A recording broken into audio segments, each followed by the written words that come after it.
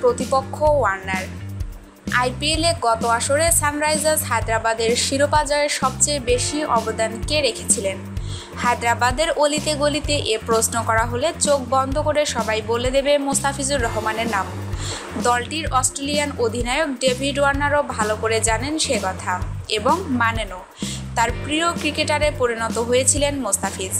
শুধু ডেভিড ওয়ার্নারে নয়, সানরাইজার্স হায়দ্রাবাদে মোস্তাফিজের সতীর্থ ছিলেন আরেকজন অস্ট্রেলিয়ান মইসেস হেনরিক্স।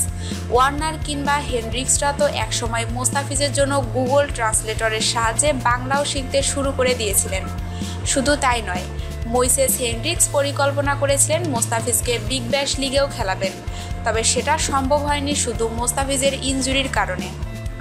গত আসরে দুর্দান্ত পারফরমেন্স করলেও এবার নিষ্প্রভ মোস্তাফিজ।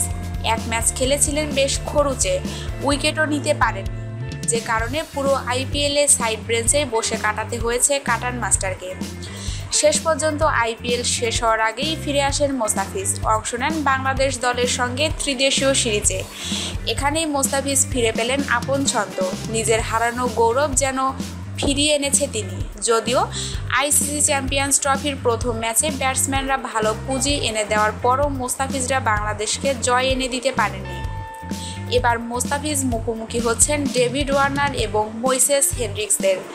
লন্ডনের ক্যানিংটন ওভালে এই প্রথমবারের মতো আইপিএল সতীর্থদের বিপক্ষে খেলবেন কাটার মাস্টার।